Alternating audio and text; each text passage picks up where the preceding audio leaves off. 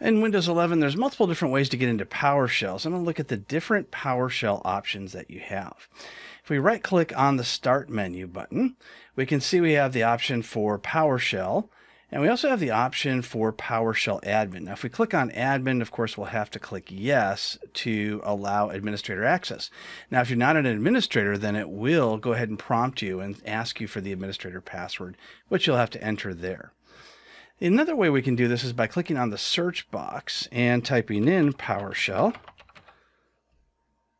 And we can see more than just the regular PowerShell options. We can see the PowerShell app. We can see ISE, which allows us to do scripting.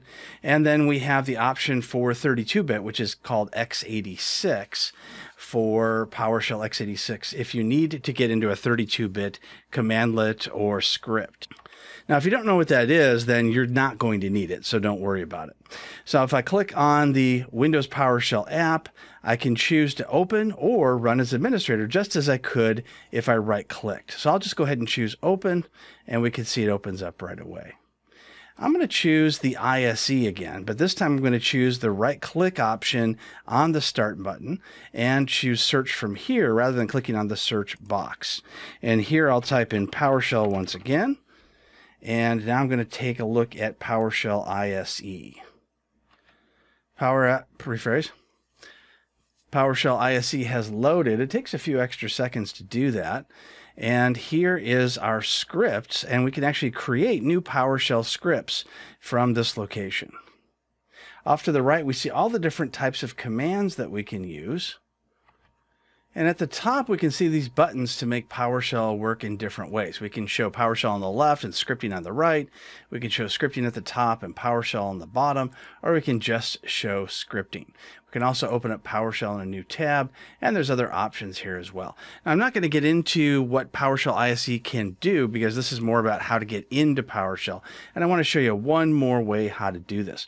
I'm going to click on the search box and type in CMD, which is the traditional command prompt. I'm going to choose to open that up and I can open up PowerShell by typing in PowerShell. And even though it looks like a black command box, you can see the PS next to the C colon backslash users, which means we're now in PowerShell. I thought that was it, but wait, there is more. If I click on the Start button and I go into Terminal, so I'll click on the Applications, by going to All Apps.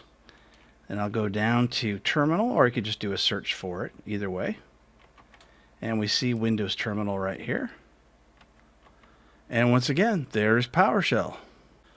So that is all the different ways you can open up PowerShell in Windows 11. If I missed any, just go ahead and let me know, and I'll add that to the video. Thanks. Yes, I've been drinking. No, I haven't.